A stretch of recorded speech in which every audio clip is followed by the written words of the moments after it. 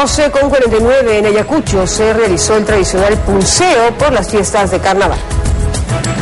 Demostrando su fuerza y habilidad, esos contrincantes se enfrentan en un reto de honor, conocido como pulseo, uno de los principales espectáculos del carnaval de Ayacucho.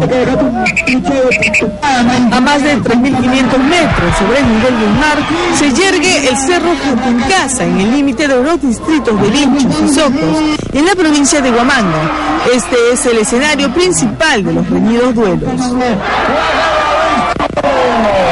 Los participantes tienen atados a sus cuerpos un cinturón llamado chumpi, del cual se sujetan unos a otros para tratar de tumbar a su adversario. Las mujeres no se quedan atrás y también participan de esta ancestral tradición. El pulseo es celebrado por los alegres y emocionados asistentes.